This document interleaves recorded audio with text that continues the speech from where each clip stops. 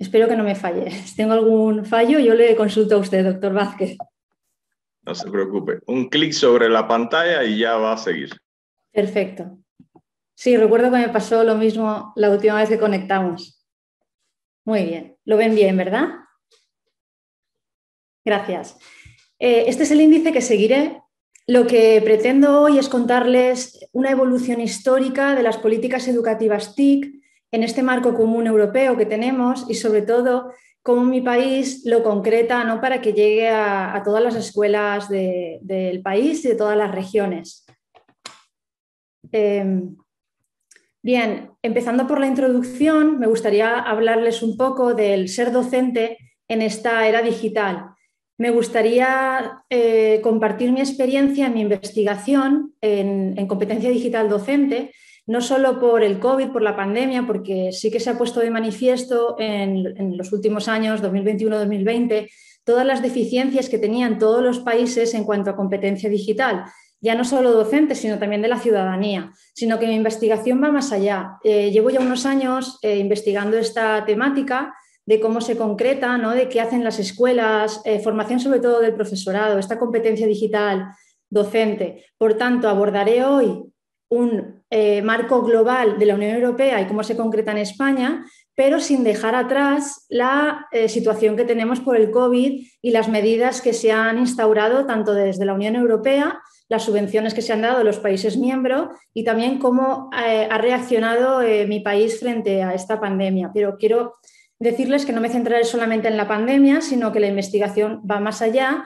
y es una evolución histórica hasta, hasta el día de hoy. Bien, los docentes de la escuela actual sabemos que tienen que enfrentarse a estudiantes hiperestimulados por las nuevas tecnologías. Sabemos que nuestros alumnos están desconectados de la escuela y sobre todo de los métodos tradicionales ¿no? que, les, que les imparten. Por ello es preciso trabajar con nuevos métodos innovadores de enseñanza, ya que la escuela tradicional está fracasando en esta era de la digitalización. Estamos ante un sistema educativo en el cual las notas importan más que las personas y el aprendizaje. Un método que hace aguas por todas partes y en el que parece muy difícil que vaya a cambiar. Necesitamos cambios muy profundos para que el sistema tradicional vaya evolucionando a este sistema digital. Sí que es verdad que han aparecido numerosos métodos innovadores de enseñanza en los últimos tiempos, con el cual se ha experimentado en muchas escuelas y hay muchas escuelas, tanto a nivel de infantil, primaria y secundaria, que sí que están realizando actuaciones de éxito. Pero somos conscientes que al final, por mucha metodología innovadora que las escuelas estén aplicando, sabemos por experiencia, por nuestras investigaciones directas en las escuelas de estas etapas, que al final la nota de un examen parece ser que es lo que más importa. Para la aplicación de nuevas metodologías es necesaria la implicación, por tanto, de todos los profesionales de la, de la educación que están en las aulas con los estudiantes, sobre todo la implicación del profesorado. Robinson saca provecho de todos sus años visitando escuelas, dando charlas en escuelas, dando charlas en universidades, trabajando con todo, con todo el mundo, con los profesionales implicados también, ¿no? en, cambiar, sobre todo, su intención era cambiar la realidad educativa. Este autor afirma que el factor más importante para que una escuela sea creativa es la, la implicación, sobre todo, del profesorado. Todos los centros descritos por este autor tanto los, el profesorado como la dirección, por extensión, todo el resto del personal docente y no docente de los centros, se toman muy en serio, eh, no entendiendo por ello la diligencia en completar solamente informes y currículos o en conocer al dedillo las materias impartidas o corregir interminables exámenes en tiempo y forma. Más bien este autor lo que trata es de dar a conocer el compromiso con la educación, con la materia prima, que sabemos que es el alumnado, tratando de hacer realidad esa intención de dar y exigir a cada uno según sus posibilidades. Otro aspecto importante resaltado por este autor, por Robinson, es que la escuela debe estar entroncada en la comunidad, adecuarse al entorno socioeconómico y ofrecer un verdadero servicio a este entorno. Esto puede significar que la escuela ofrece un refugio a chavales con problemas, por ejemplo, de integración a las mismas. Estas ofrecen programas de enseñanza adaptados a las necesidades reales de contexto o simplemente ofrecen un abanico de actividades que implican a toda la sociedad, no solo a la comunidad educativa. Aunque las nuevas tecnologías parecen la solución a todos nuestros males, en todas las escuelas se apoyan en ello como un método de aprendizaje, Algunas, de hecho, las apartan de sus planes, sin darse cuenta que de esta forma apartan también el interés del alumnado por la educación y que están deseando salir del centro educativo para conectarse a sus dispositivos móviles. Sin embargo, en todas las escuelas las tecnologías son una ayuda para el profesorado, para elaborar sus propios materiales, para organizar los trabajos, como método de seguimiento de los alumnos y las alumnas. Es decir, la tecnología como herramienta es más útil que la tecnología como un fin en sí misma. Podemos afirmar que la, innovación está asociada al cambio, tal y como indica otro autor, Carbonell, muy importante en España en cuanto a innovación educativa. Innovar en tiempos presentes puede resultar una verdadera aventura llena de dificultades, de paranoias y contradicciones, pero también, sobre todo, la innovación nos abre un mundo a posibilidades y satisfacciones. La innovación está asociada al cambio. Para que haya innovación, el profesorado tiene que cambiar su forma de enseñar, eh, de enseñar esa metodología tradicional, introduciéndose en el mundo digital, tan importante hoy en día, y más como estamos con el COVID. Mundo en el que ya están inmersos los alumnos y las alumnas. Como, como eh, sostiene este autor, Carbonell, al que hacemos referencia, no nos podemos atrapar en una escuela tradicional, aquella que se limitaba a leer, a escribir, a contar, a recibir pasivamente un baño de cultura general. La, nueva ciudadanía que tenemos que formar exige desde los primeros años una escolaridad con otro tipo de conocimiento que hace 20, 30, 50 años. Una participación nos exige una participación más activa en el proceso de aprendizaje. En los últimos años se han detectado síntomas de modernidad, pero a raíz de nuestras investigaciones no hemos visto un cambio real a día de hoy. La escuela está siendo criticada por el desinterés mostrado hacia la inteligencia ética y emocional, por la desconexión eh, con el verdadero interés de los alumnos y las alumnas. Conseguir una educación integral es la meta de cualquier pedagogía innovadora. La innovación educativa se asocia al movimiento de renovación pedagógica. La innovación se entiende como una serie de intervenciones, de decisiones y de procesos con cierto grado de intencionalidad y sistematización que tratan de modificar actitudes, ideas, culturas, contenidos, modelos y prácticas pedagógicas. El libro de texto es el recurso más utilizado de todos los tiempos. Muchos profesores lo utilizan porque les aporta seguridad. Esto significa una pérdida de poder y autonomía docente. Muchos centros educativos, en el contexto español en el que me encuentro, están introduciendo las tecnologías como método de enseñanza. El profesorado está diseñando materiales, también está diseñando contenidos a través de plataformas eh, digitales. Se está viendo un cambio hoy en día en las metodologías docentes. Pero ¿está el profesorado preparado y formado para este cambio digital en las escuelas? ¿Tiene el profesorado esta competencia digital adquirida? Esto es lo que vamos a intentar ver en, la sesión de, hoy.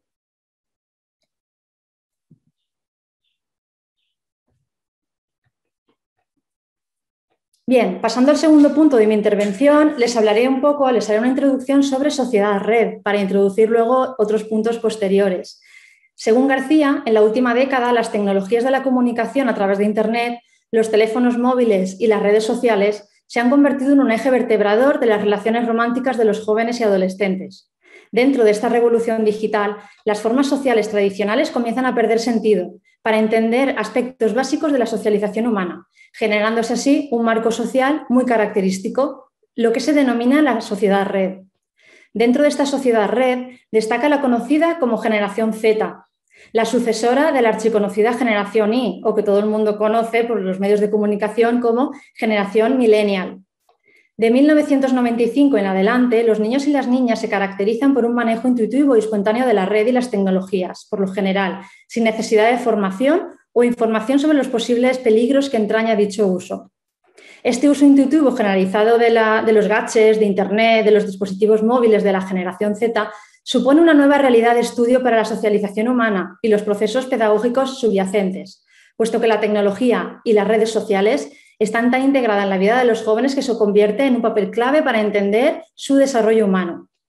La velocidad que se requiere para responder a los nuevos retos que representan en el sector educativo obliga a las instituciones a estar mejor informadas para anticipar los cambios e ir un paso adelante de estos jóvenes, según el radar de innovación educativa.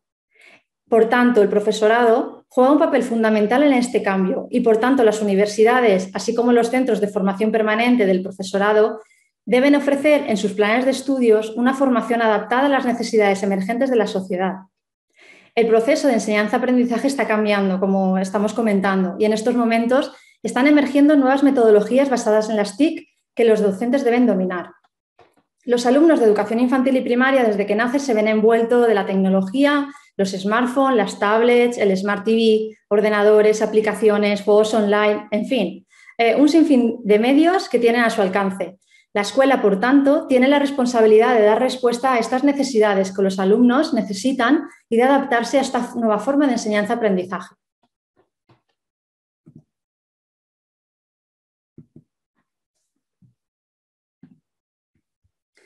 Bien, el, siguiente punto a tratar es la formación en competencia digital. Lo que eh, vemos es que la formación en competencias es un imperativo curricular que en el caso de la competencia digital ha tenido hasta hace años una especificación poco desarrollada y diversa en sus descriptores, al no existir un marco común de referencia. Pero ahora, desde hace unos años, contamos con la Agenda Digital Europea, y el plan para la digitalización del Gobierno de España, que son los dos aspectos básicos que, voy a trabajar en, la, comunicación que hoy les traigo. Bien, profundizando en este tema, les hablaré eh, de la Agenda Digital Europea. Desarrollar la competencia digital en el sistema educativo requiere que los docentes tengan la formación necesaria en esa competencia. El marco común de competencia digital docente, desarrollado en el seno de la ponencia de la competencia digital docente que coordina el INTEF, que es el Instituto Nacional de Tecnologías Educativas y Formación de Profesorado de España. Aquí, en esta conferencia, describieron de manera estandarizada la competencia digital de los docentes en cinco áreas, que son información y alfabetización informacional, comunicación y colaboración, creación de contenido digital, seguridad y resolución de problemas. A raíz de estas, de estas eh, competencias, de estas cinco competencias clave, se desarrollaron 21 competencias y seis niveles competenciales, que va desde la 1 hasta el C2, igual que conocemos en los idiomas, como el inglés, el francés, el español, que tenemos eh, diferentes niveles. En este marco común también se han establecido niveles de competencia para acreditar al profesorado de todos los niveles educativos su competencia digital. Pero todo esto está basado en el marco del DITCOM 2.0 para la competencia digital para la ciudadanía, en relación con la Agenda Digital 2020 de la Unión Europea.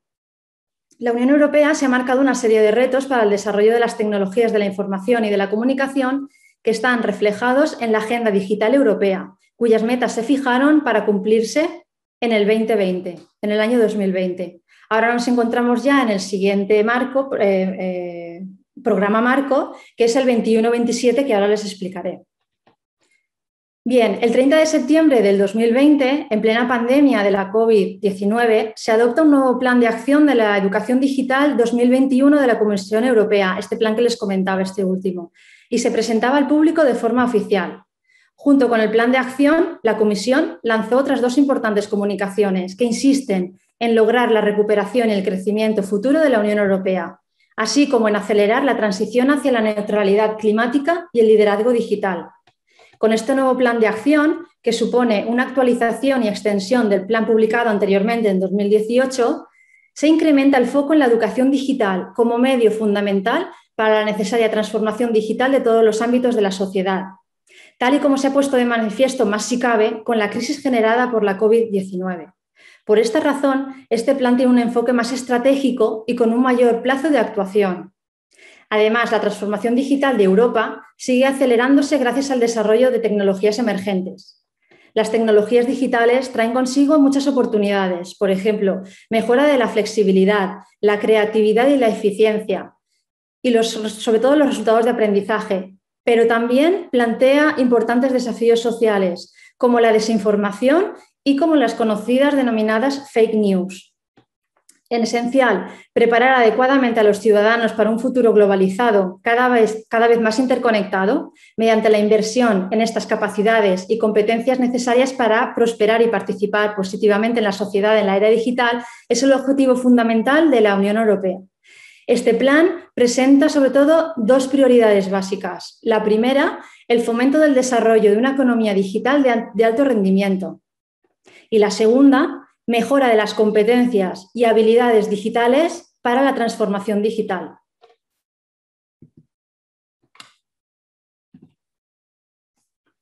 Bien, en lo que refiere a profesorado, las herramientas tecnológicas son un medio infinito de recursos educativos que sirven para llevar a cabo la función docente a la hora de impartir las lecciones y para la atención al alumnado. Además, por otro lado, es una buena opción para usar las tecnologías del aprendizaje y la comunicación en el ámbito, sobre todo, evaluativo de la educación y en el registro del desarrollo de la enseñanza-aprendizaje.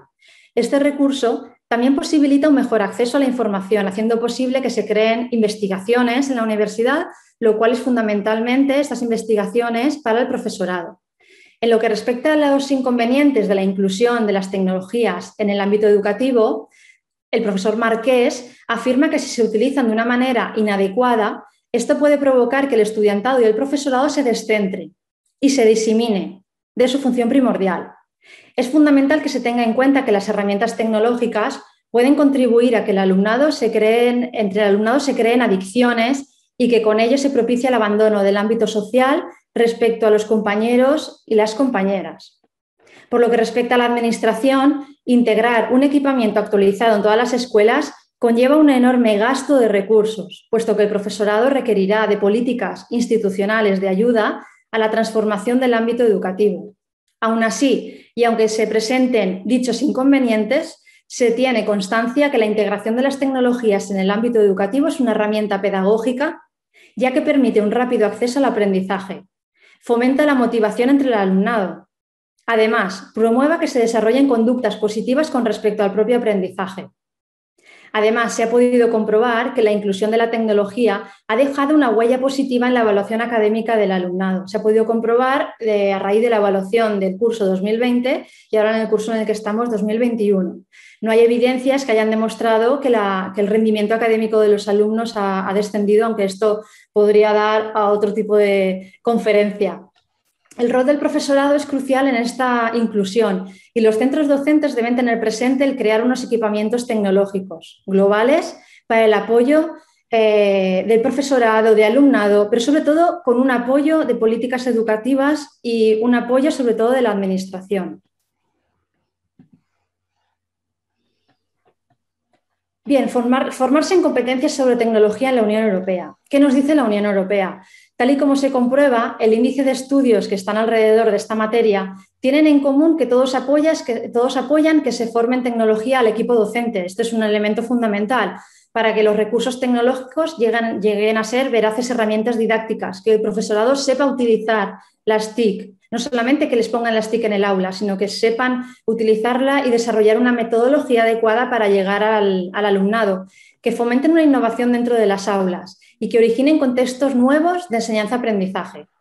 En base al informe sobre las TIC para el aprendizaje, la innovación y la creatividad realizado por el Instituto de Perspectiva Tecnológica, para que mejore la eficacia de los aprendizajes y los éxitos educativos, son necesarias herramientas tecnológicas, aunque también es necesario tener presente que según el modelo que se coja, los resultados serán unos u otros.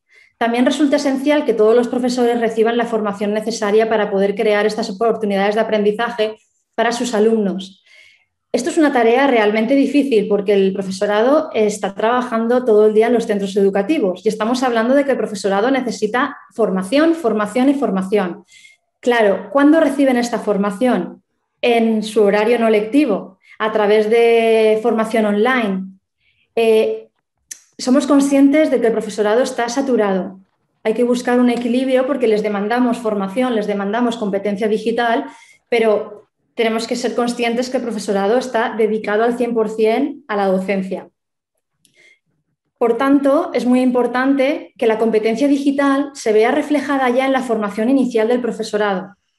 Y en referencia a la formación inicial, en esta, esta formación inicial es fundamental para que se introduzcan conocimientos pedagógicos que fomenten una innovación en las aulas. Además, que les permita al profesorado recapacitar en base a la huella que están dejando los recursos tecnológicos mientras se utilizan. El estudio detallado sobre el ordenamiento en base a la formación inicial del equipo docente en Europa resalta que el aprendizaje tecnológico en los planes de estudio se introduce en la mayoría de los países miembros de la Unión Europea. Es verdad que en ciertos países esa praxis es variable, aunque los hay con una independencia curricular en lo que al campo de las tecnologías se refiere, teniendo la opción de introducirlas o no. La Unión Europea recomienda. Luego los países miembros ya son los encargados de decidir a través de las políticas educativas si introduce esa formación en competencia digital o no. Es por ello que, según cada país, la formación inicial se aplica de manera indispensable y puede llegar a ser una opción en el programa de plan de estudios de los futuros maestros. En los países donde se observa una formación inicial en competencia digital, se encuentran elementos pedagógicos relacionados con la inclusión de la tecnología dentro de las aulas, en la utilización de Internet y su utilización en ciertas asignaturas.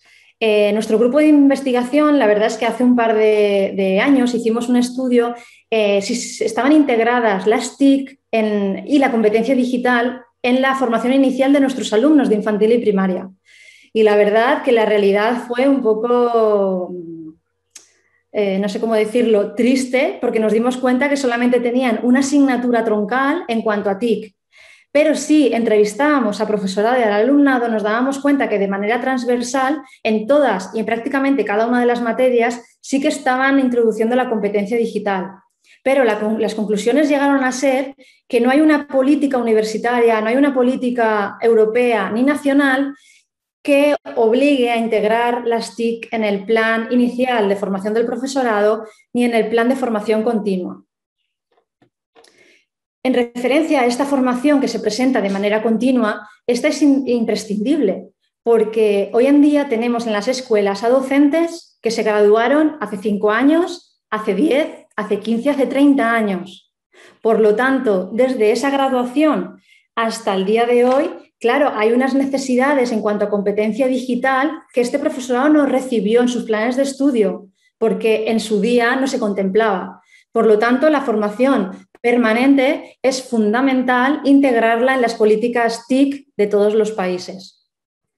El profesorado necesita recibir apoyo con regularidad a través de programas de formación permanente y del acceso a materiales adecuados. Es por esto que no importa que los países introduzcan o no las competencias tecnológicas en su formación inicial.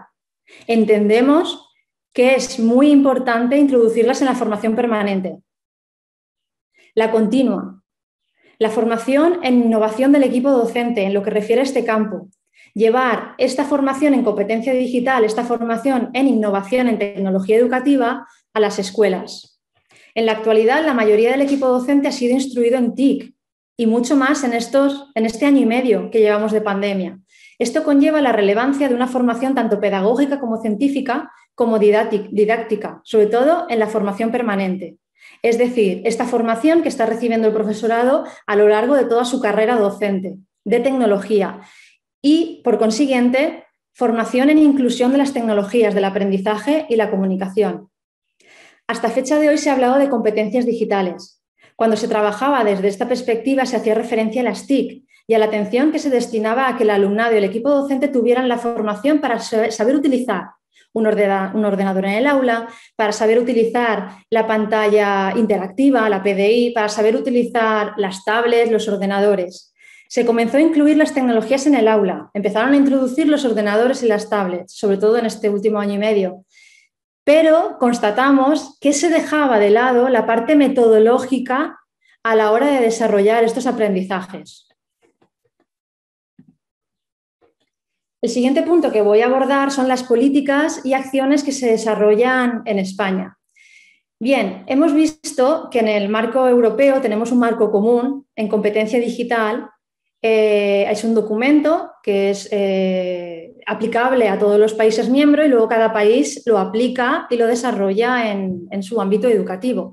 En España, la Administración Educativa recoge todas, todas estas influencias político-educativas europeas en materia de TIC e inicia un proceso de dotación masiva a las aulas que comienza ya a finales del siglo XX. Y ahora haré una evolución rápidamente histórica de la evolución de las TIC en el contexto español empezando por los programas como por ejemplo el PENETIC, Programa de Nuevas Tecnologías de la Información y Comunicación del año 1987. Este proceso se vio reflejado principalmente en la dotación de dispositivos que se concentraron en el aula o laboratorios informáticos. hablamos de dispositivos, pero en verdad lo que fue fue introducir PCs, ordenadores personales de sobremesa en las aulas. Ya está. Yo, yo, yo, me incluyo porque estaba en la escuela en aquella época. Nos introdujeron los ordenadores y nos decían, sí, una hora de informática a la semana. Y nos dejaban abrir el ordenador y empezar a ver qué era aquello sin mucha explicación. Y ahí empezó en el año, eh, principios de los años 90, la inclusión de, las TIC ¿no? en las escuelas, tanto en primaria como en secundaria. Con todo ello, las dificultades para integrar las tecnologías en las acciones educativas también se hicieron notar en el contexto español, sobre todo por la falta de recursos. Esto es generalizado en toda Europa. Muy bien, eh, aconsejaban a las escuelas a incluir las TIC, pero no dotaban de recursos económicos. Entonces, claro, las escuelas públicas, ¿cómo introducían estos ordenadores si no los recibían? Era, era un poco complejo, ¿no? Entonces, eh, la evolución de las políticas TIC en España comienza con dos proyectos experimentales, el proyecto Atena y el proyecto Mercurio, en 1985. Estos programas pretendían introducir de manera paulatina, como he comentado, los ordenadores en las aulas de primaria y secundaria. Finalmente, estos dos proyectos acabaron fusionándose en el programa de Nuevas Tecnologías de la Información y la Comunicación, PENETIC, de 1987 que les he comentado hace un momento, que pretendía dotar de dispositivos a toda la red pública de centros no universitarios. A este programa, al PENETIC, le sustituyó el Centro Nacional de Información y Comunicación Educativa, el CENICE, en 1996, que más adelante se reestructuró en el Instituto de Tecnologías Educativas, el ITE, y actualmente ha derivado y se denomina el INTEF, que es el Instituto Nacional de Tecnologías Educativas y Formación del Profesorado que tenemos actualmente y está a cargo del Ministerio de Educación. A España las políticas de inclusión de la tecnología en las aulas llegaron bajo el programa Escuela 2.0. El programa Escuela 2.0 fue una iniciativa incluida en el Plan E, impulsada por el Gobierno socialista en España en septiembre del 2009. Aquí, en, verdad, fue cuando entraron los programas eh, reales, más allá, de, más allá de dotar un aula de informática por centro y dejar los ordenadores para que los pudiéramos ver es aquí con el, con el, programa Escuela 2.0 es cuando de verdad eh, el profesorado ya nota la inclusión de las TIC en las aulas. Contó con un presupuesto inicial de 200 millones de euros para todo el Estado español, cofinanciados por el Gobierno central y por las comunidades autónomas. En un principio, el programa Escuela 2.0 estaba destinado solamente al alumno de quinto y sexto de primaria, por considerarles que eran más maduros y más maduras para la, para la adquisición de, las nociones ¿no? del manejo de las TIC. Eh, aunque existieron excepciones como Cataluña, que también lo quisieron aplicar a los primeros cursos de la educación secundaria obligatoria. Participaron casi todas las regiones, excepto Madrid y Valencia. Y aquí es verdad que, como todos conocemos, es porque fue una cuestión política. En aquellas regiones donde tenía un mayor peso el partido político de la oposición al gobierno central, pues no quisieron aplicar este programa y hicieron sus programas propios. Entonces, pese a su vigencia de casi tres años, en el año 2012 el gobierno conservador que entró eh, del Partido Popular clausuró el programa Escuela 2.0 que tanto éxito estaba teniendo. Según el estudio de Area y Sanabria, que evaluó la implementación de este programa de las TIC a través del programa Escuela 2.0 desde el punto de vista siempre del profesorado, observando, eh, realizando cuestionarios, haciendo entrevistas al profesorado, detectó que la mayoría de los, de los profesores presentaban una actitud muy positiva hacia este programa. Había sido muy positivo y habían aprendido todos, tanto los maestros, profesores como alumnos en las escuelas. A su vez, la mayoría del profesorado destacó y reconoció la eficacia del programa respecto a la dotación de recursos. En este programa, por primera vez, con esos millones que hemos comentado, sí que se dotó a las escuelas de estos recursos para poder hacer eficaz un programa de estas características. En suma, el programa Escuela 2.0 fue una respuesta del sistema español a las tendencias internacionales y, a todas estas Em, normativas europeas que estaban dándose en el ámbito eh, internacional en política educativa TIC, cuyo impacto trascendió la manera, eh, sobre todo, sobre todo trascendió en la dotación económica. Este impacto puede analizarse a través de investigaciones como la de AREA y otros, eh, donde un conjunto de 10 autores de diferentes universidades españolas analizaron las acciones que se llevaron a cabo en seis comunidades autónomas a raíz del programa Escuela 2.0. Estas regiones fueron Andalucía, Asturias, Cataluña, Canarias, Extremadura y País Vasco, y las políticas educativas independientes que se desarrollaron en las dos comunidades que no desarrollaron el programa central, que fueron Madrid y Valencia.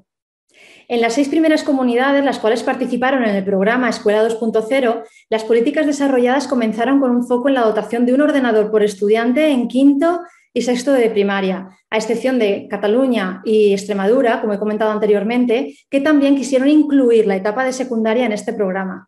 Partiendo de este punto de vista en común, cada comunidad autónoma adaptó el programa a sus necesidades y a las necesidades del territorio y los programas autonómicos preexistentes. Por ejemplo, Andalucía a este programa de Escuela 2.0 lo llamó Escuela TIC 2.0, Canarias CLIC Escuela 2.0, Asturias Educastur, Cataluña Educacat 2.0 y País Vasco Escola 2.0.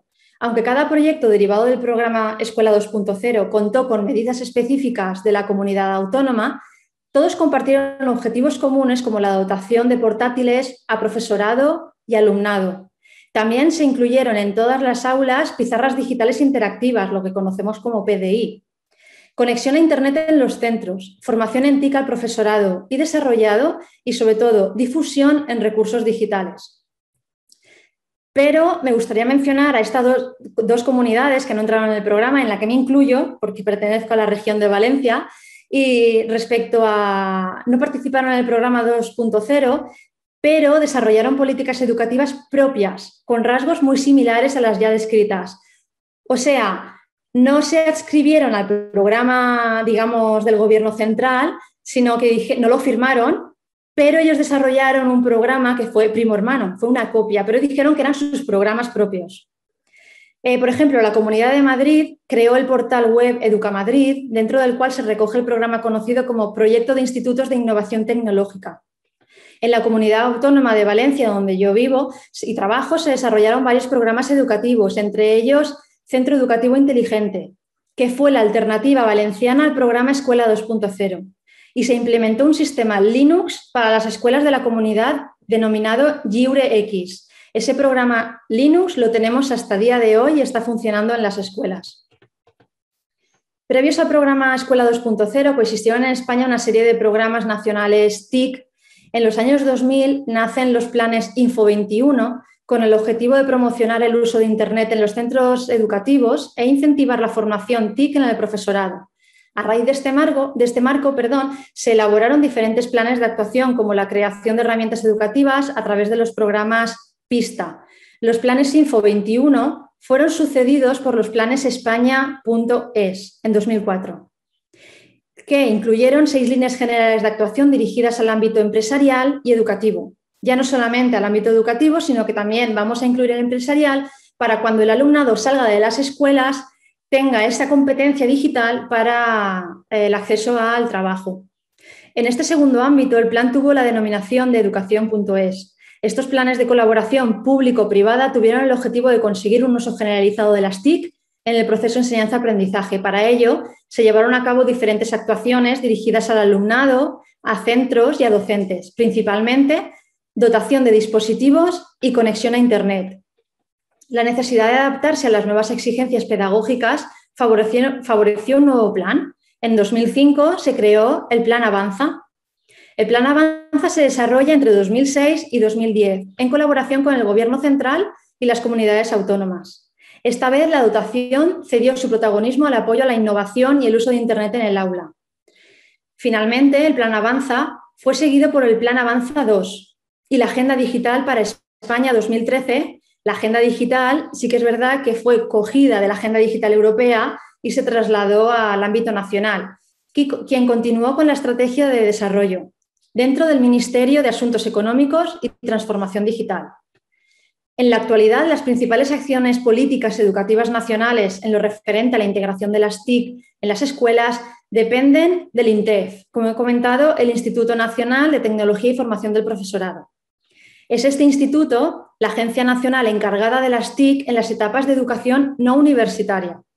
Desde su portal web, el INTEF se define así como un espacio de encuentro para impulsar el cambio metodológico en las aulas, basado en el fomento de la colaboración escolar, la mejora de los espacios de aprendizaje, el desarrollo de habilidades para el siglo XXI y la competencia digital educativa.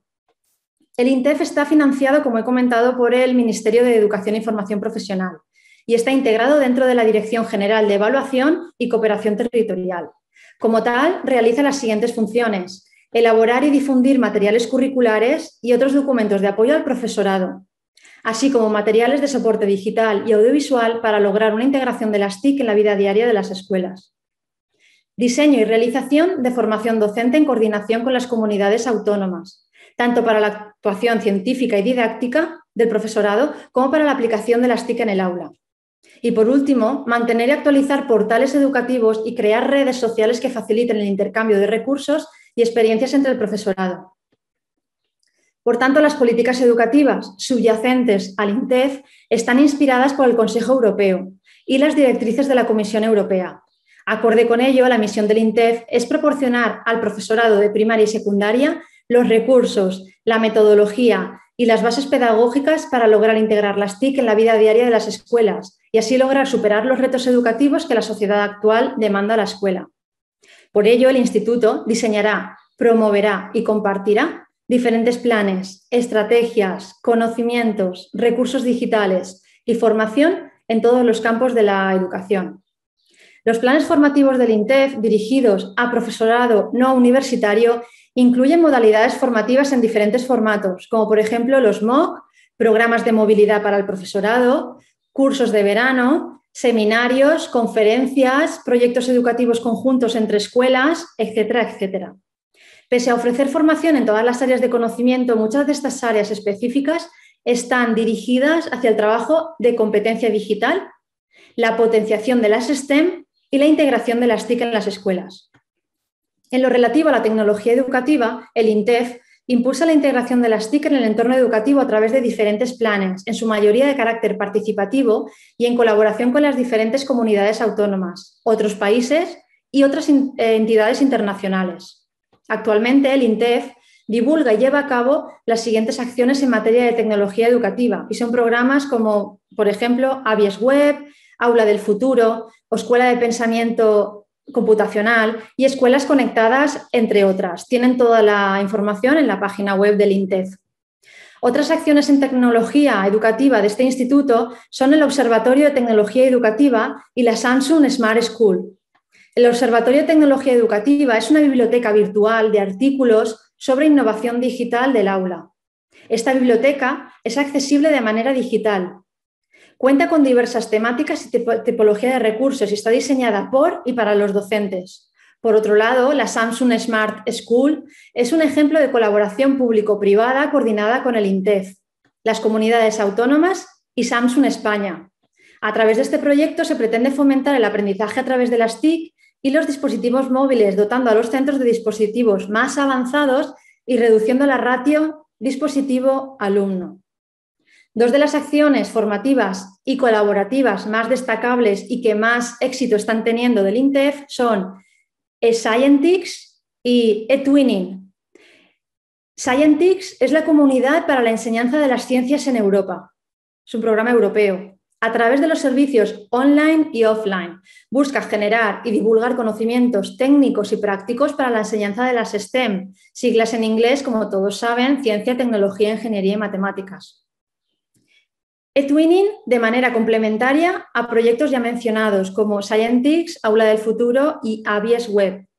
Es la principal comunidad de centros educativos en línea en Europa. Es una comunidad virtual que todos los centros de la Unión Europea pueden acceder y pueden establecer contactos y colaboraciones con otros centros de primaria o secundaria eh, realizando intercambios, realizando movilidad, realizando formación del profesorado, etcétera, etcétera. Este proyecto tiene una vocación colaborativa, por lo que busca el intercambio de experiencias, de recursos, de materiales y tecnologías entre los docentes y discentes de toda Europa. La plataforma eTwinning es muy utilizada para, sobre todo, eh, supongo que conocen el programa Erasmus que tenemos aquí en la Unión Europea, que es el intercambio entre escuelas de secundaria y otros ámbitos eh, como la universidad eh, y luego posgrados, pues el intercambio de personas, intercambio de estudiantes, intercambio de profesorado. Bien, a nivel de primaria y secundaria, eTwinning es la plataforma a través de yo puedo entrar a la plataforma y buscar socios para entre todos elaborar un programa Erasmus y presentarlo a la comisión, presentar un proyecto común. Si yo no tengo contacto, si yo no conozco escuelas en Francia, en Italia, en Alemania, puedo entrar a esta plataforma y contactar con los centros y ver qué interés tenemos común para pedir un proyecto de estas características. El INTEF también diseña y ofrece una gran cantidad de recursos educativos disponibles de manera abierta y gratuita para los docentes. En el ámbito de los recursos digitales destacan numerosos cursos de formación en X-Learning, programa gratuito de código abierto que permite generar recursos digitales. También el INTEF tiene un banco propio de imágenes y sonidos gratuitos. Además, en 2006 se creó el espacio ProComún, una red de recursos educativos en abierto donde los docentes pueden acceder a objetos de aprendizaje con licencias abiertas. Por último, el INTEF actualmente acoge el proyecto EDIA, Repositorio de Recursos Educativos, que promueve la innovación y la investigación didáctica desde un abordaje colaborativo entre los docentes. Bien, las políticas TIC españolas tienen nuevos retos. Hemos visto que los docentes tienen muchos recursos, pero tenemos por delante retos. Si la dotación nunca había sido un recurso suficiente para la integración de las tecnologías en el aula, actualmente se suman nuevas necesidades. Por un lado, los retos pedagógicos, que existen a las políticas TIC dar recursos y formación al profesorado para que sean capaces de trabajar en el aula a través de las tecnologías y que éstas no queden en un completo vacío donde solo cambie el formato, pero no la pedagogía. Por otro, la comunicación familia-escuela también se hace patente. Las TIC han permitido una comunicación más efectiva, más completa y directa entre las familias. Lo hemos podido ver en este último año y medio. Habían familias que ni siquiera conocían plataformas virtuales, que nunca se habían comunicado a, través de ninguna plataforma con el profesorado y ahora por las circunstancias en las que nos hemos visto obligados, casi la mayoría de las familias a través de aula, bien sea aula virtual o diferentes plataformas, han podido estar en contacto con el profesorado. Por último, es importante destacar que las políticas educativas y el profesorado deben asumir la incorporación de las TIC en el aula, no solo por influencia internacional, sino porque son un factor clave para muchos de los retos actuales en educación, como es la integración y el aprendizaje del alumnado con necesidades educativas especiales. A raíz de la pandemia por COVID-19, el Gobierno español aprobó el Plan España Digital 2025. A lo largo de las dos últimas décadas, los sucesivos gobiernos de España han ido adaptando programas para el avance digital, alineándolos con las agendas digitales europeas que han servido de marco para impulsar un proceso de despliegue de infraestructuras y desarrollo de un ecosistema empresarial y tecnológico en un ámbito clave para la productividad económica, para la vertebración territorial y el progreso social. La situación excepcional derivada de la pandemia de la COVID-19 han acelerado este proceso de digitalización, poniendo de relieve las fortalezas, pero sobre todo poniendo de relieve las carencias tanto, desde el punto de vista económico como social y territorial. También en Europa se han diseñado un conjunto de medidas para la transformación digital. En estos momentos la transformación digital está recogida en las, en las, propuestas del presupuesto europeo actualmente en negociación para el periodo 2021-2027. Del Fondo de Recuperación de la Unión Europea habrá una partida destinada específicamente para los países miembros para la transformación digital ya que hay una urgencia de articular en Europa y en nuestro caso en España la Escuela Digital 2025. Una de las principales metas es que para el 2025 se garantice la conectividad digital para el 100% de la población, promoviendo la desaparición de la brecha digital entre zonas rurales y urbanas, continuar liberando el despliegue de la tecnología 5C, reforzar las competencias digitales de los trabajadores, y reforzar la capacidad española en ciberseguridad. España Digital 2025 plantea un, objetivo transversal fuertemente alineado a los Objetivos de Desarrollo Sostenible y la Agenda 2030. Contribuir de forma considerable a cerrar las diferentes brechas digitales que se han ensanchado en la pandemia y se han hecho visibles durante los primeros meses, sobre todo del año 2020, por el COVID-19, y que ha motivado la acción urgente del Gobierno de España. Por ejemplo, poniendo medio millón de dispositivos digitales con conectividad a disposición de los estudiantes afectados por la brecha digital. Estos dispositivos llegaron a las regiones a través de las consejerías de educación y las consejerías los trasladaron a los ayuntamientos para que fueran los encargados de seleccionar a través de los servicios sociales aquellas familias que estaban teniendo problemas notificando al centro o porque no eh, tenían noticias de alumnos, hubieron escuelas que no tuvieron noticias del alumnado en 15-20 días. ¿Por qué motivo era? Porque no tenían conectividad. Entonces, la urgencia fue dotar a estas familias de la conectividad a disposición de los alumnos estudiantes afectados por la brecha digital a través del programa Educa en Digital. Esta fue la primera medida. Estas ayudas han llegado a las escuelas y también a las universidades a través de las comunidades autónomas, eh, dotando a los centros educativos de ordenadores, tablets para aquellos eh, alumnos y alumnas que lo necesitaran. También han ampliado la capacidad de conexión a Internet de las escuelas públicas. Eh, recuerdo en marzo del 2020 que, claro, mm, igual que a ustedes, la pandemia nos vino de un día para otro. Entonces nos vimos un viernes yendo a la universidad, estado de alarma el sábado y el lunes todo el mundo desde sus casas conectados con dispositivos móviles. La universidad lo soportó, aunque nos recomendaban intentar no dar todas las clases por videoconferencia porque se saturaba hasta que lo solucionaran. El mayor problema fue en las escuelas de primaria y secundaria, porque el bando de ancha no aguantó y los alumnos y alumnas estuvieron como 15-20 días sin recibir ningún tipo de clases por parte de los docentes. Claro, todo esto eh, tuvo una inversión que tuvo que hacer el Gobierno de España adelantando fondos hasta que llegara el dinero de Europa para, sobre todo, intentar solventar este colapso que hubo durante los primeros meses de, de la pandemia. Durante todos estos meses ha estado trabajando sin descanso para que ningún centro educativo tenga carencias tecnológicas. Se espera, porque está aprobado ya, que llegue de Europa del Fondo de, Reestructuración por la COVID 70.000 millones de euros en el periodo 2020-2022. La brecha actual de competencia digital para la ciudadanía, población activa y especialistas es notable y requiere de actuaciones conjuntas entre el sector público y privado, sobre todo para cerrarla. Para conseguirlo, el sistema educativo y la formación a lo largo de toda la vida juegan un papel clave, tal y como recoge el Plan de Acción de Educación Digital de la Comisión Europea.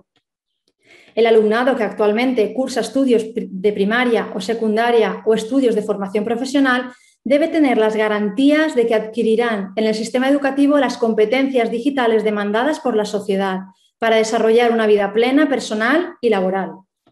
Además, la situación generada por el COVID-19 ha evidenciado aún más la brecha digital en el ámbito educativo. Asunto que merece una actuación extraordinaria enfocada a garantizar la accesibilidad a los recursos tecnológicos y el desarrollo de las competencias digitales pertinentes. Por lo tanto, este plan persigue las siguientes medidas. La primera, educa en digital. La pandemia COVID-19 ha traído consigo una severa disrupción de la actividad educativa. La enseñanza presencial en los centros se ha suspendido, se suspendió. La docencia se ha trasladado del plano, eh, mm, plano de las escuelas al plano virtual, acelerando así el proceso de transformación digital de la educación mediante la generalización del empleo de recursos online, de herramientas telemáticas de comunicación y colaboración y de dispositivos y conexiones a Internet, por parte tanto de los docentes como de los alumnos. Sin embargo, a consecuencia de este traslado de la actividad docente desde los centros a los hogares, la pandemia de la COVID-19 ha generado una nueva brecha digital que ha tenido mayor incidencia en aquellos alumnos con dificultades, acceso a estos dispositivos, dificultades de acceso a la conectividad en sus domicilios, que se ven privados y tienen mayores obstáculos para continuar el curso académico junto a sus profesores y compañeros. En definitiva, este es un programa que permite seguir avanzando siguiendo los pasos ya dados en este ámbito como programa de escuelas conectadas, que contribuye a dotar a los centros educativos de conectividad fiable y de calidad. La segunda medida es el Plan Nacional de Competencias Digitales. Se trata de un plan integral que pretende incrementar sustancialmente el nivel de competencias digitales básicas de los colectivos peor situados, como son las personas mayores, personas de bajo nivel económico y de ingresos, personas con nivel de estudios bajo, áreas no urbanas y mujeres. Garantizar las competencias digitales avanzadas del alumnado al, al finalizar la educación secundaria. Formar a la fuerza laboral con los conocimientos digitales necesarios en sus puestos de trabajo y para la ocupabilidad futura, aumentando así su productividad y fomentando además el trabajo a distancia. Y atender la demanda de especialistas digitales generalistas y avanzados en la economía española, prestando especial atención a la reducción de las brechas de género existente en todos ellos. La última medida de este plan es Plan Uni Digital. Este plan tiene como objetivo imprimir en el sistema universitario español un, impulso de los procesos de digitalización de la educación superior. Para ello, se prevé una serie de actuaciones de refuerzo y mejora de la infraestructura digital universitaria, fomentando las competencias digitales del profesorado o estímulo a la creación de polos de innovación formativa interuniversitaria impartida digitalmente. Aquí en este punto tengo que decir que sí que es verdad que desde marzo del 2020, eh, enseguida las universidades a nivel europeo, español, eh, a nivel mundial, en fin, eh, se pusieron en marcha y sí que han aplicado diferentes planes, en concreto mi, facultad, la Facultad de Educación de la Universidad de Valencia, desde el minuto uno eh, nos empezó a brindar formación, formación a los alumnos, programas que antes eran de pago, software educativo nos lo brindó gratuito. la verdad que todos hemos tenido una serie de beneficios, aunque todo nos vino como nos vino, nos hemos visto desbordadísimos para poder atender a nuestras tareas familiares, educativas y de formación, pero sí que es verdad que se ha estado trabajando sin descanso en dotar eh, en esta última medida al colectivo tanto docente universitario y a los alumnos en dar dispositivos. También se brindaron eh, portátiles a los estudiantes a través de las diferentes bibliotecas universitarias para que pudieran seguir las clases online, etcétera, etcétera.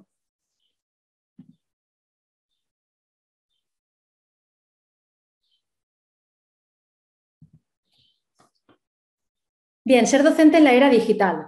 Hemos visto todo este complejo mundo digital en el que estamos y ahora vamos a abordar el papel de ser docente, ¿no? de, qué inconvenientes y qué ventajas tenemos de pertenecer a esta era digital. Los docentes en el aula interactúan con sus estudiantes con un planteamiento ideológico, cultural, social ese planteamiento no lo podemos separar de lo que somos, lo que en verdad hacemos o lo que los docentes sentimos. Ser docente implica saber hacer. Para lograrlo vale la referencia eh, a pedagogos del siglo XX como Piaget, con la acción es el origen del pensamiento, a John Dewey, hablamos de cómo pensamos y qué sabemos hacer, María Montessori, con las innovaciones en el aula con los recursos y materiales, y Freinet, introduciendo la imprenta en las aulas. ¿Por qué introducimos estos referentes pedagógicos? ¿Qué tienen que ver estos referentes pedagógicos del siglo XX con las tecnologías en las aulas?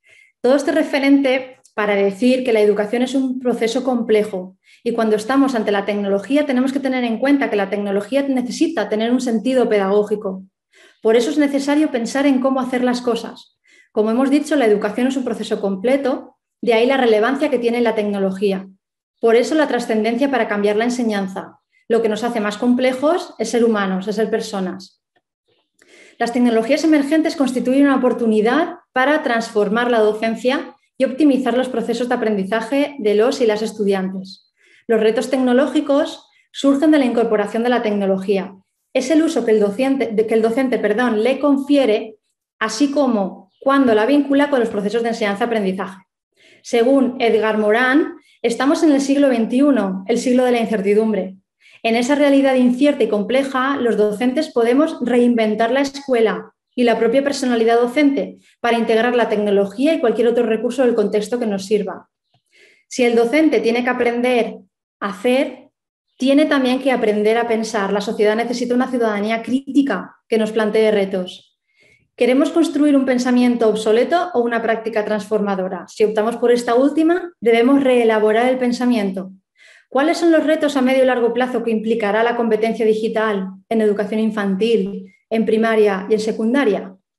Este, la verdad, que es un tema muy abierto y complejo para seguir investigando sobre él. No olvidemos que el reto no es la tecnología, sino la pedagogía, introducir la tecnología en el aula. analicemos la manera en que se implementa en las aulas. En cuanto a la formación del profesorado, buscamos un profesor crítico, consecuente, responsable con la realidad, con ganas de cambiar, de transformar.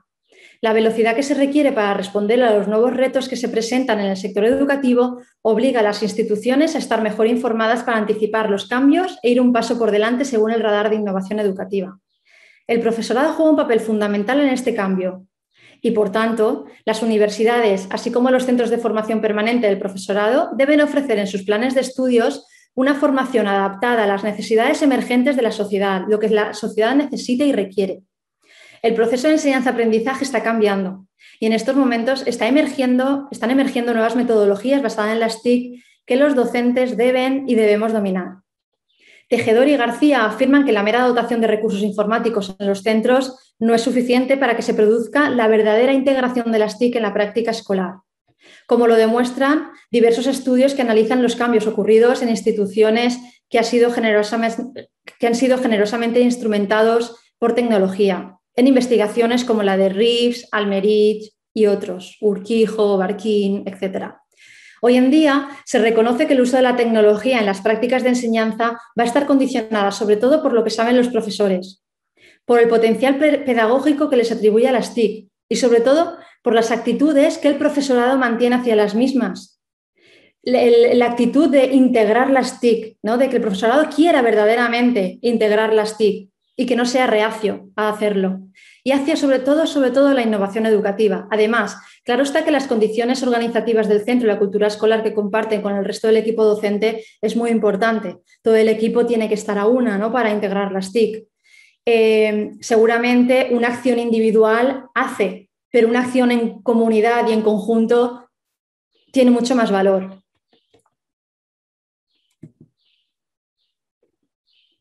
Bien, el siguiente punto a abordar, el último, es la formación del profesorado en competencia digital. Ya hemos visto la, función del profesorado en la era digital, pero ahora vamos a ver las necesidades formativas que tiene el profesorado en las etapas de infantil, primaria y secundaria. Las tecnologías emergentes constituyen una oportunidad para transformar la docencia y optimizar los procesos de aprendizaje. Los retos tecnológicos surgen de la incorporación de esta tecnología para ello nos centramos en primer lugar en la revisión y análisis de la competencia digital que tiene el profesorado y los modelos de inclusión de la tecnología en las escuelas como propuesta de mejora para las escuelas del siglo XXI. El mundo está cambiando y mucho más en este último año y medio con, con toda la situación de la pandemia. La educación no es una excepción, la educación va de la mano. La innovación y la tecnología educativa son las protagonistas de todo este cambio. Desde el ámbito universitario pretendemos ofrecer a los futuros docentes motivaciones y también los beneficios que les aporta situarse en la vanguardia de la práctica educativa, para que puedan innovar desde sus puestos docentes.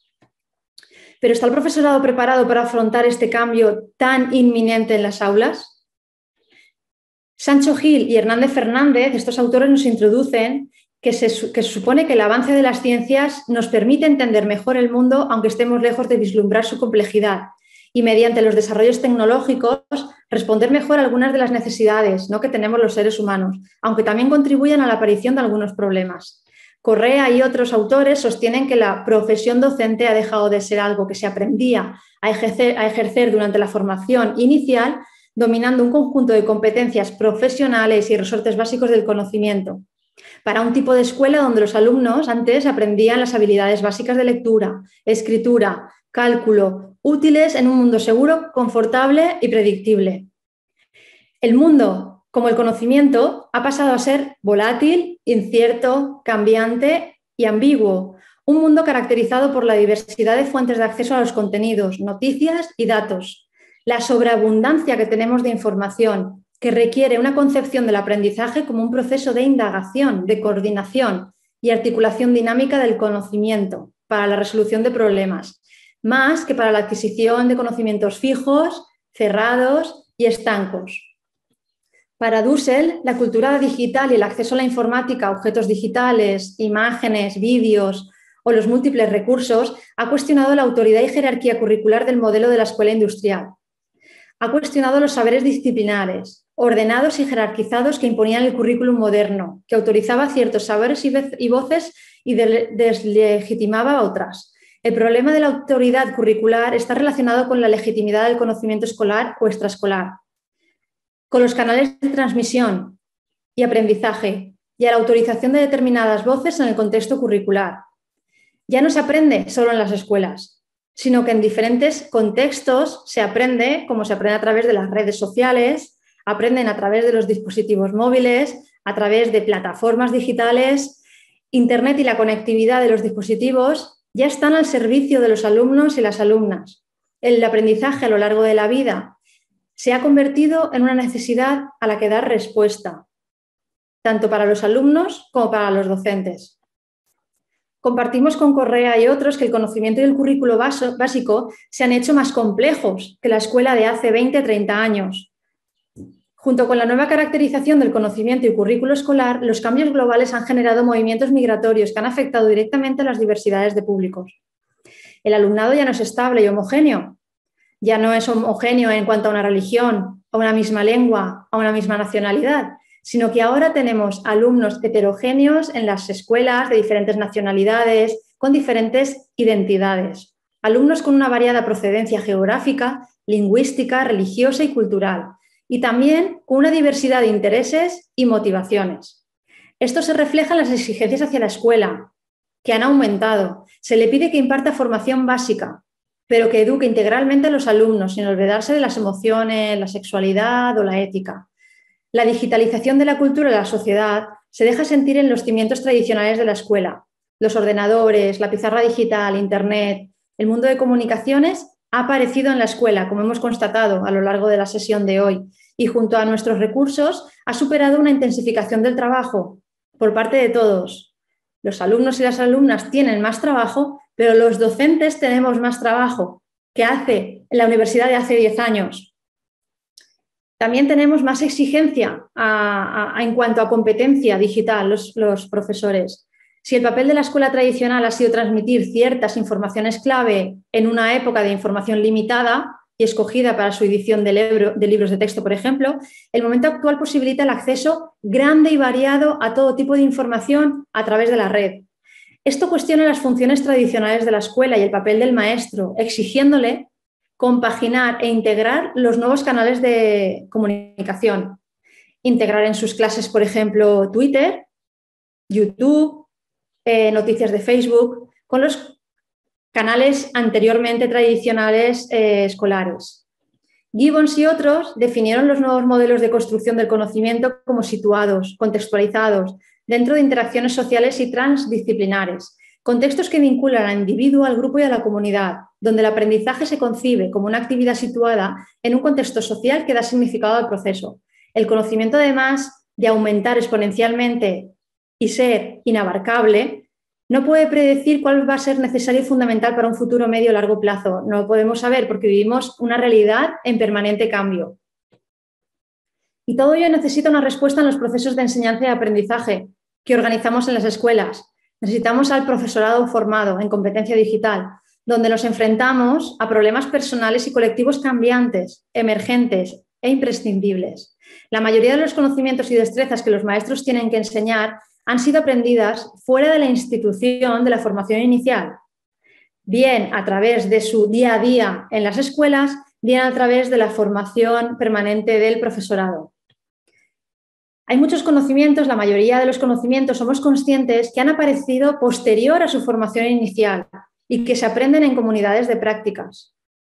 Por lo tanto, desarrollar la competencia digital en el sistema educativo requiere que los docentes tengan la formación necesaria en esa competencia digital, empezando por la formación inicial del profesorado y no dejar, eh, y no dejar, digamos, que cuando salgan, unos se formarán y otros a lo mejor no en su formación continua. Por eso debemos de darles una formación inicial en competencia digital de calidad y común a todo el profesorado.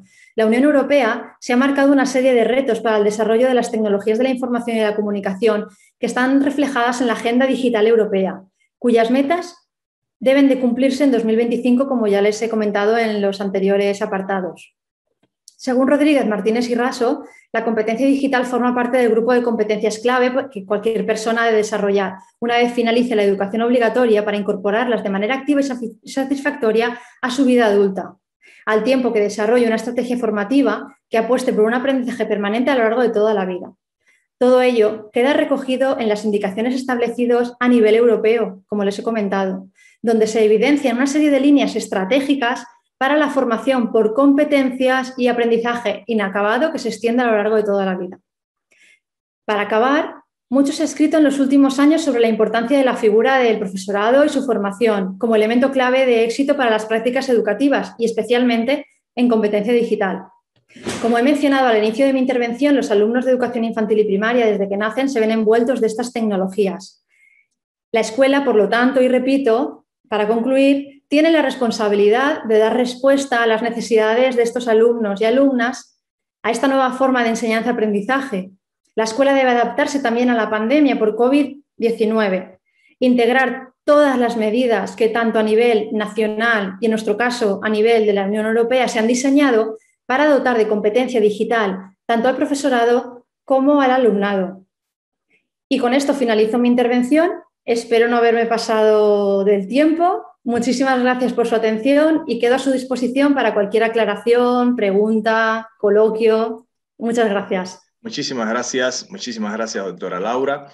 Realmente eh, usted nos ha brindado un amplio panorama en torno a eh, las competencias digitales, eh, las acciones que en el marco común europeo y desde la OCDE se están desarrollando para eh, la integración de estas competencias, también desde todo el trabajo que viene realizando el INTEF con eh, la última publicación en octubre de 2017 relacionado con este marco común de competencias y estas cinco competencias que usted menciona, y también este plan de acción nuevo que surge eh, a raíz de todo lo que generó la pandemia en el contexto europeo y también a nivel mundial, pero bueno, estamos centrados en el contexto europeo, donde aparece este nuevo eh, Plan de Acción de Educación 2021-2027 del Marco Común Europeo y que establece dos acciones fundamentales dentro de su estrategia que están relacionadas con el desarrollo de un ecosistema eh, educativo digital de alto rendimiento y una segunda acción que está centrada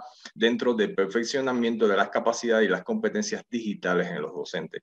Sabemos también que dentro de INTEF, eh, hoy en, el, en España, eh, los docentes pueden acceder y pueden certificarse en competencias digitales. Y es una certificación que hacen a nivel de uso de herramientas eh, en línea, no es que tengan que estar presentándose dentro de una convocatoria presencial, sino que pueden acceder y entonces pueden obtener determinadas eh, calificaciones, como usted dice, dentro de las tres eh, áreas fundamentales o dentro de los tres niveles de competencia dentro, dentro de esas cinco competencias y 21 competencias que se establecen para el trabajo en la competencia de informatización, en la competencia de comunicación y colaboración, de desarrollo tecnológico, de resolución de problemas y en la competencia de eh, seguridad digital. Creo que es súper interesante lo que usted nos plantea y en las dos conferencias anteriores se venía hablando de un, tema muy importante, el electivismo. Con, eh, el electivismo por sustitución y por eh, niveles de concreción en un pensamiento científico, crítico, al eclecticismo. Yo creo que usted nos ha brindado un panorama de cómo también en América Latina se pueden conocer estas experiencias, pero ajustarlas, adaptarlas a las realidades de contexto, que también tiene relación con lo que usted decía. Estamos en un contexto donde la pandemia nos develó la pandemia nos desnudó ante eh, muchísimas dificultades, desde las carencias tecnológicas, desde la posibilidad de acceso a eh, determinados dispositivos y sobre todo Internet en zonas rurales, hasta un tema que es muy serio y es la competencia digital en nosotros los docentes para desarrollar estos procesos eh, que como dice esta nueva, esta nueva eh, proyección que, que ustedes 21-27 están mm, trabajando, trabaja por eh, cómo comprender las tecnologías para intensificar los cambios en una educación, en una sociedad digital. Y bueno, creo que el mundo entero, el mundo entero ha tenido una mirada diferente hacia la formación docente. Algo que es muy interesante lo que usted dice y es que esta competencia digital no es el fin, esta competencia digital es el medio para desde la pedagogía, desde la didáctica, podríamos decir desde las ciencias de la educación fundamental, un trabajo diferente en la formación de eh, las futuras actuales y futuras generaciones. Pues excelente su presentación, doctora, y bueno, eh, establecemos eh, las consultas, las preguntas o algunos planteamientos que quieran establecer algunos colegas para ir también posteriormente ajustándonos a los tiempos que tenemos establecidos. Por lo tanto, están abiertas, hay colegas aquí que son de su área, como Damaris desde Chile, como otro, como Andrea desde México. Entonces, hay profesores que también han preguntado mucho sobre este tema que ayer también se abordó por el doctor Armando Sánchez y él decía algo sobre el tema del, eh, sobre el tema del estrés. Y en una investigación que presentó de tres universidades se mostraba que las dos universidades que usaban las tecnologías en algo que usted decía, bajo un proyecto común, no eh, de manera independiente, sino lo utilizaban bajo un proyecto tecnopedagógico, podríamos decir, como dice César Col o como dice también eh, eh, Frida Díaz Barriga, eh, integraban las tecnologías bajo fundamentos pedagógicos y didácticos para la formación, generaban menos estrés en el profesor y el estudiante. A partir de lo que usted decía, hay más trabajo hoy para el profesor, hay más trabajo para el estudiante. Pues bien, entonces cedo la palabra a los colegas que están en sala para si quieren hacer alguna consulta, alguna pregunta, algún comentario. César Lozano acaba de levantar la mano. César, le cedo la palabra. Muchas gracias. Muy buenos días. Eh, primero, felicitar por la, por la presentación, la exposición completa eh, que nos sitúa la realidad eh, que, que, están pasando en otros lugares. Y bueno, mi pregunta, em, en esta nueva realidad estamos situados en un proceso de enseñanza-aprendizaje que si bien ha facilitado algunas tareas, pero también ha complicado otras. Eh, y una de las que todavía es una asignatura pendiente, digamos, eh, por aquí es, por ejemplo, la normalización, la regularización o la regulación eh, de las formas de certificar o validar el, el aprendizaje. Por ejemplo, esto puede ser muy fácil si estamos hablando de una asignatura teórica y en base al cuestionario se puede llevar adelante esta evaluación. Pero el problema surge cuando estamos llevando adelante una asignatura eh, práctica. Lo que bien decía la expositora son competencias que uno las va adquiriendo en la vida profesional, que las tiene que transmitir a, los estudiantes. Entonces, allí pues eh, todavía em, hay, un, hay un vacío en el, en el contexto de decir cómo evalúo eso. Y por favor, me gustaría que nos cuente en qué estado está este proceso, porque si bien es una tarea de las, de las entidades de educación, pero em, nos han, digamos, nos han puesto sobre la carga de los docentes hacer eso. Y a veces eh, tenemos, eh, digamos, serios problemas en poder establecer los niveles de certificación, ver, saber y, certificar que el estudiante tiene las competencias que yo le estoy transmitiendo y por tanto poder eh, avalar aquello. ¿En qué, cómo están llevando adelante este, este proceso? Esa sería mi pregunta. Gracias. Muchísimas gracias. Por su, sí, gracias por, su pregunta, muy interesante. Bien, eh, hablando de las sesiones presenciales, nos ponemos en el caso de las aulas, no sé si ustedes de primaria, secundaria o universidad.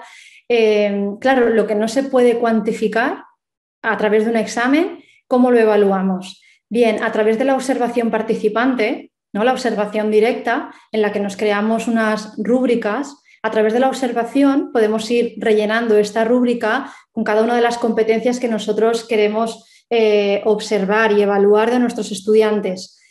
Esto eh, se dificulta cuando es una, digamos, una docencia eh, no presencial, online. Claro, ¿cómo observo yo a mis estudiantes cuando no, estamos en el aula, cuando no puedo estar delante de ellos, cuando no puedo anotar estas observaciones directas?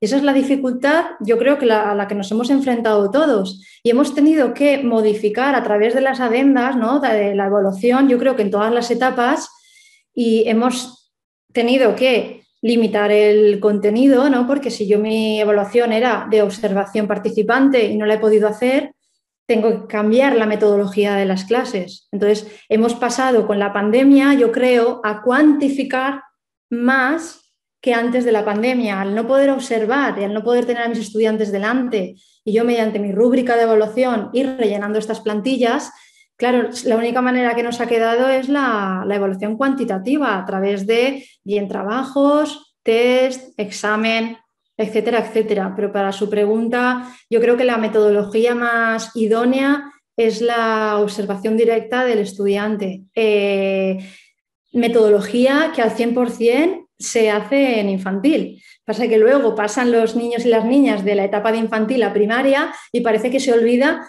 todo, desde la metodología de enseñanza hasta la forma de evaluación. Entonces, yo en mis clases en la universidad utilizo metodología de infantil, porque es un método muy eficaz para saber el desarrollo y las capacidades que está consiguiendo cada uno de mis alumnos. No sé si quiere que le aclare algo más. ¿Ha quedado resuelto? Muchísimas, muchísimas gracias. Sí, ampliar, por favor, perdón, disculpe, ampliar en el sentido de la normativa, cómo están llevando adelante allí eh, en España este tipo de, eh, de establecer las normas, establecer los procedimientos desde, digamos, eh, regular el proceso de enseñanza-aprendizaje. sí, bien, en los centros de infantil y primaria, los CEIP, que aquí tenemos los centros públicos, esto se concreta a través del proyecto educativo de centro.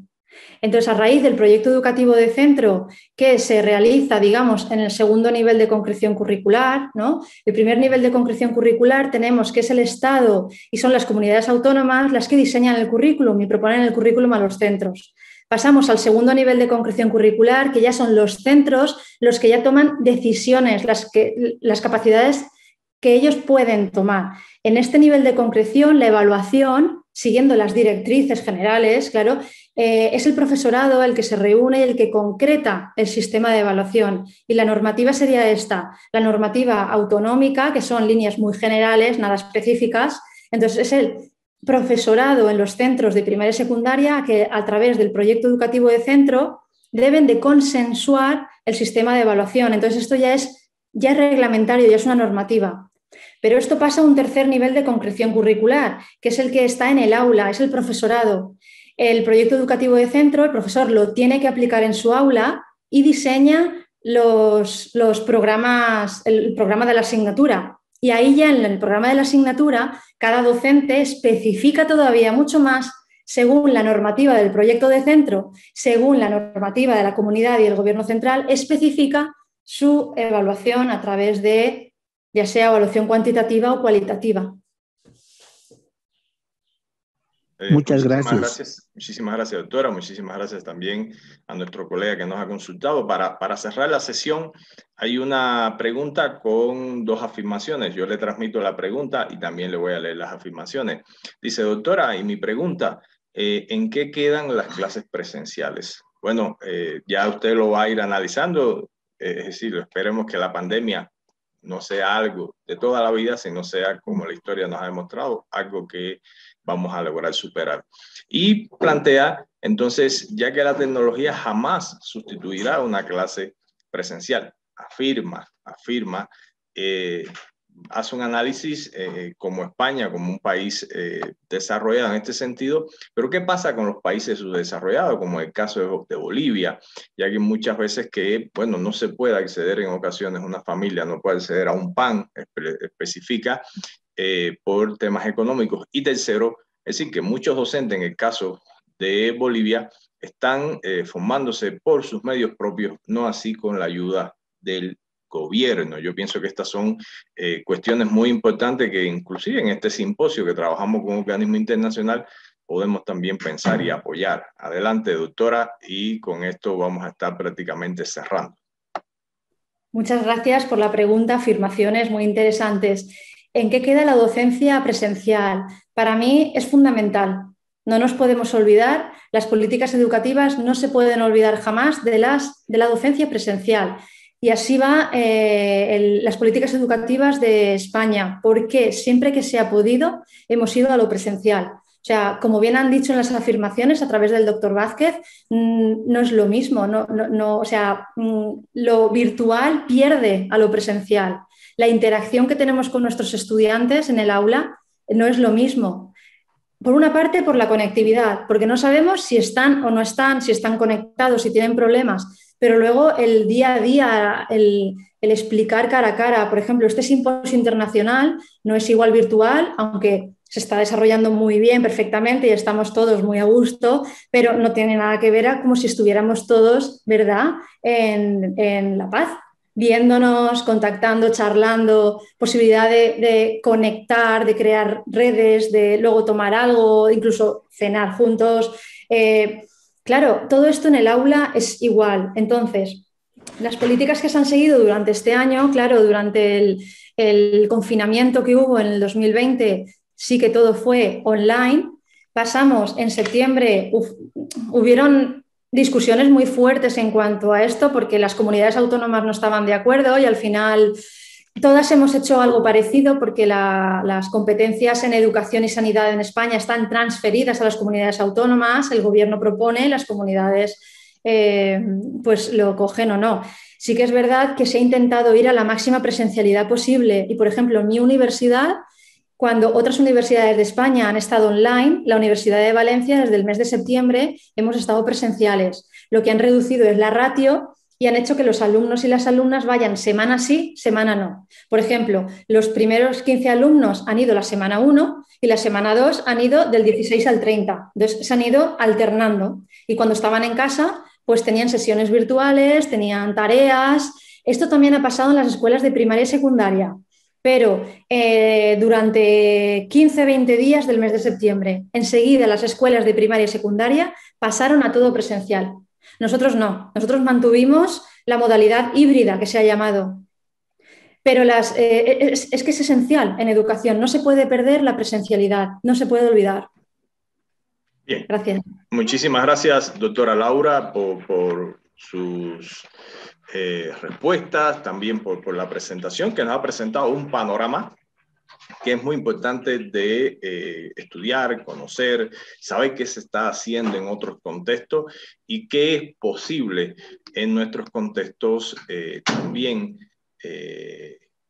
aplicar desde estos procesos de innovación. Es decir, la innovación no es que todo tenga que realizarse por primera vez una, una, una aplicación de, de, y desarrollo de un proyecto, sino también conocer qué hacen otras, otras eh, sociedades, que se hacen en otras universidades y ver también cómo se puede seguir eh, contextualizando a nuestras realidades. Muchísimas gracias, doctora, por este espacio que usted nos ha permitido desde España compartir con nosotros. En este momento vamos a continuar con el simposio. Ahí como ustedes ven, está el correo de la doctora laura.monsarbe.uv.es eh, de la Universidad de Valencia. Pueden comunicarse con la doctora, seguramente eh, va a estar eh, atendiendo cualquier consulta, cualquier pregunta de manera, como siempre lo ha hecho, muy amable. Muchísimas gracias, doctora. el doctor Ennis Escribano me pidió que la saludara, que la felicitara. Él ha estado presente en la sesión, eh, tuvo que salir un momento, pero me pidió que le transmitiera esta felicidad y que, bueno, muy contento también con su presentación. Muchísimas gracias eh, a nombre de todos los participantes, doctora, y si, si, si el tiempo se lo permite, la invitamos también a que esté con nosotros en el panel internacional que vamos a realizar sobre el desempeño del docente en las condiciones del siglo XXI.